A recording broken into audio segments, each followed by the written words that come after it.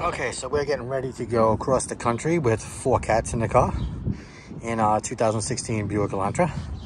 And I just wanted to do a little rundown for anybody if they ever had to do this. We've done this three or four times, so we're kind of old hat. These tents we got on Amazon. They do them for cat shows, and it's really kind of neat. Uh, there's actually a separation wall in here if you wanted to split it in half. But in here will be one cat and well, there'll be one cat in two of them and two cats in another.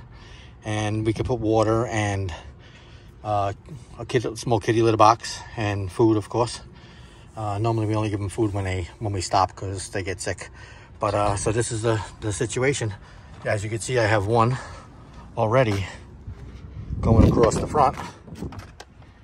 And inside every single one of these is puppy pads. And since it's gonna take about four days, I got five layers in there. So if there's a mess, I could just pull out the puppy pad and the next one will be uh, ready to go. So it's kind of nice. They like it, they rest and sleep.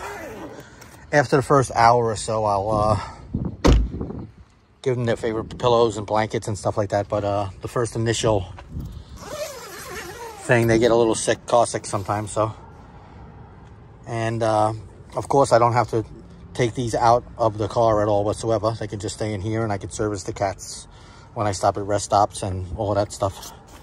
Uh, being very careful, of course. Normally I'll have all the doors closed and all the cats safely tucked away. So these just lock up. So there's no cats running around the car. And this just slides in. It's probably gonna be a tighter fit. Nope. And they got little pockets out here for uh, a scooper or whatever you want to do, some extra uh, pads. And you can see I have a, uh, three layers of pads underneath here. I also have my Buick cover and then I have my extra uh, floor mats from the third row seat underneath. But after this initial thing, there is two more tops underneath.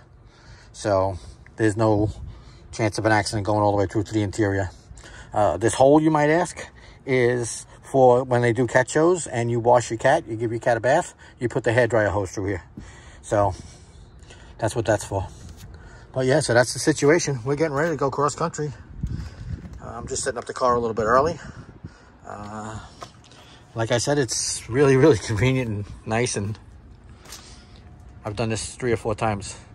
So if you get a chance and you need to do this, uh, Amazon, these uh, tents, uh, they were slightly cheaper. They've gone up a little bit, but uh, they used to be like $150. Now I think they're about 200 but the price fluctuates a lot. So you just got to put it on your watch list if you we're going to do that.